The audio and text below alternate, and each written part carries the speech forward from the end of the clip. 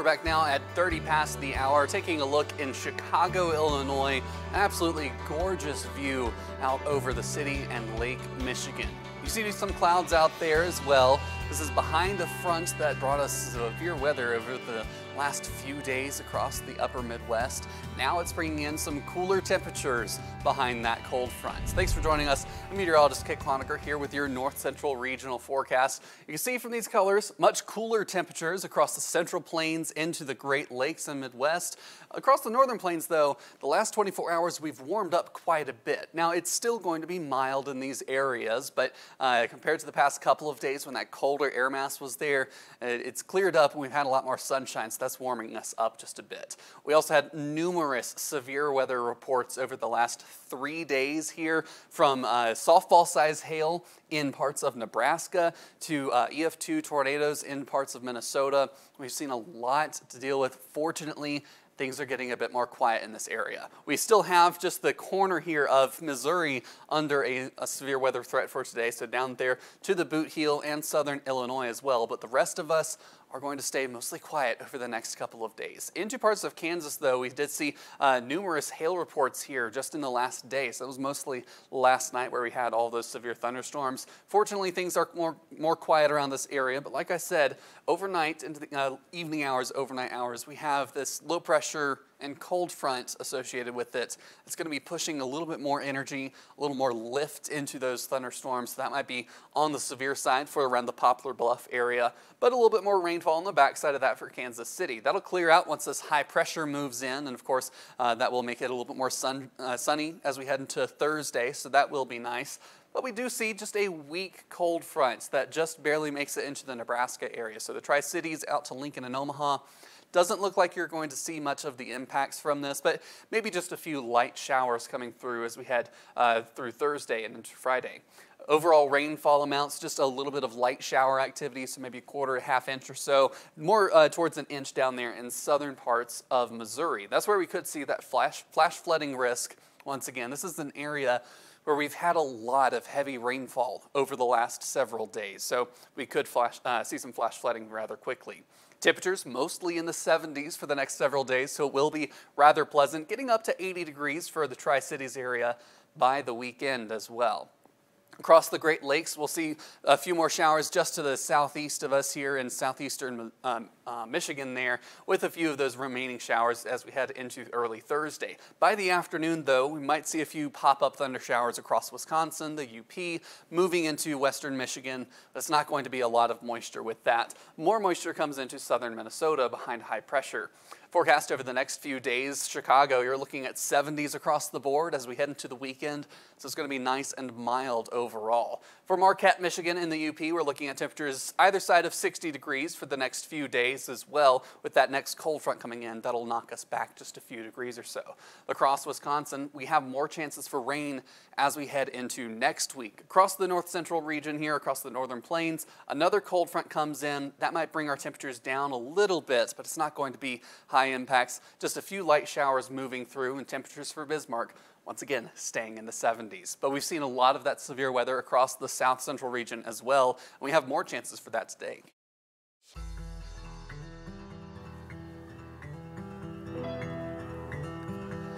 We've got some rain coming down in Boston, Massachusetts. You see there on radar that's moved in within the last hour or so. We've seen just uh, some few scattered showers across the eastern Mass, but uh, it's starting to pick up a little bit heavier here over the last little bit. Thanks for joining us here on Weather Nation. I'm meteorologist Kit Cloninger here. We're going to take a look at some of those threats that are coming out right now. As we have just recently seen a new severe thunderstorm watch has been issued across parts of the, uh, the Northeast. So let's take you to that right now as we do see this area across uh, Ohio, northern Pennsylvania, and southeastern uh uh, Uh, excuse me, southwestern New York is where we've got that severe thunderstorm watch. So we could see winds with some of these thunderstorms that are coming across Lake Erie right now. These could eventually become severe and produce winds up to 65 miles per hour. One inch diameter hail is also a threat with these storms as well, so we'll have to keep an eye out for that. And of course, we'll have all of uh, uh, those storms covered right here on Viper radar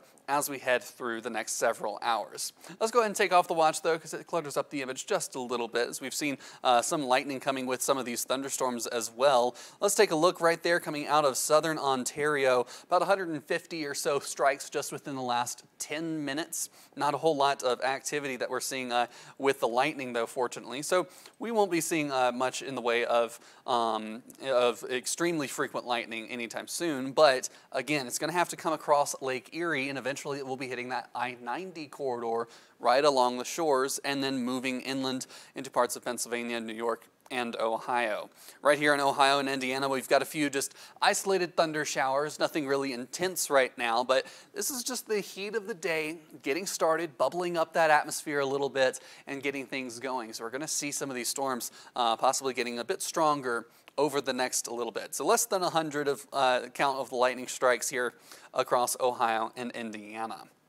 We'll go ahead and take that off. Let's take a look across uh, the central uh, U.S. is where we've got some heavy uh, showers coming through as well. Lightning, uh, just a few thunderstorms there just down the I-40 corridor, but widespread light to moderate rainfall just crossed over the I-35 corridor around Stillwater, moving up towards Bartlesville as well. Not going to be seeing uh, incredibly heavy rain, but we've seen in this area a lot of rain over the last couple of days. So this could lead to some flash flooding fairly quickly just with a little bit of rain. Think of it like a sponge. When you have a very dry sponge, it doesn't absorb a lot of water. So if we're in a drought, we can get flash flooding. The reverse of that is still true. If you have a very saturated sponge, it doesn't take much more water from that, so you can still get a bit of flooding. So you need something that's just a little bit wet, but still has some room for the soil to absorb the rain. And unfortunately, we don't have that type of soil across uh, Oklahoma and Kansas. We've got a little bit of a thunderstorm there moving uh, just to the northwest of the Wichita area, up into southern Nebraska, a few light to moderate showers, but really across the central U.S., it is going to be the severe weather that we're going to be uh, keeping our eyes open for in the coming hours. Well, we're taking a look at uh, a couple of places in Mexico where we've had some very heavy rainfall over the last couple of days. In, on Monday, we saw Hurricane Agatha coming ashore. It dissipated as it crossed the mountains of Mexico. But now we're starting to see the potential for redevelopment into the Caribbean and southern Gulf of Mexico, and then even a secondary system possibly to, to develop in the next couple of days there in the western Atlantic. Now, of course, this is the greater threat here in the red, the high uh, threat we see um, moving towards the places of southern uh, Florida, Orlando, Miami, Tampa. You could be seeing some impacts from this uh, system after it develops. Even if it, it doesn't get a name, we're still likely to see very heavy uh, rainfall coming through. So you don't want to so much focus on the name of a storm. You want to focus on those impacts. Now, that, we are still expecting a tropical depression to form from this. It is uh, quite likely with that, of course, and we're looking at those models. They've been starting to come into more agreement that something does form from it. If it does, it will likely be our first named storm of the Atlantic season, which would be Alex. Now, we see here on the pressure map, uh, we've got 1,012 millibars there in northern northern Cuba and Havana, that's about average sea level pressure, what we would normally expect. Notice down here in Chetumal where we have uh, 1,000.7, so we've got an area of broad low pressure. Hurricanes always come from low pressure, of course, so uh, we're keeping an eye on that. The hurricane hunters are scheduled to fly out in, uh, into this complex of thunderstorms on Thursday. Models are already picking up on this and are starting to come into a bit of agreement as well as we get a little bit closer. A cluster here we see across southern Florida, crossing right over Lake Okeechobee possibly, but still we have a few outliers here and uh, moving towards the Bahamas. So this is one of those things you want to keep updated with the most recent forecasts because a forecast as complex as the tropics develops over time and we've got to keep our eyes for any subtle changes in the early terms. We've got a lot of moisture though. That's the main factor with this. A lot of moisture here across the Caribbean and Gulf. That's going to contribute to some very heavy rainfall. So we see this one particular model that updates four times a day, so there's going to be different outcomes through the day. This one has it definitely formed already by uh, Friday early, early morning here, bringing a lot of heavy rain towards western Cuba. Now, we see a lot of heavy rain. Again, focus more on the colors rather than on all those circles because that would be the center of the system, but it's just one model in a cluster of them. But a lot of heavy rainfall coming across a wide area of southern Florida there, moving into the Bahamas as well. So we're going to have to keep our eyes on this because we could see a, a widespread flooding event for southern Florida. So Miami, around the Everglades, up to uh, West Palm Beach, Port St. Lucie, um, Naples, you could be seeing some very, very heavy rainfall. We're talking three to seven inches at least for this uh, around uh, parts of Florida. Like I said, Cape Coral up to West Palm Beach and Miami all within this. The Keys are also going to see some impacts from this as well.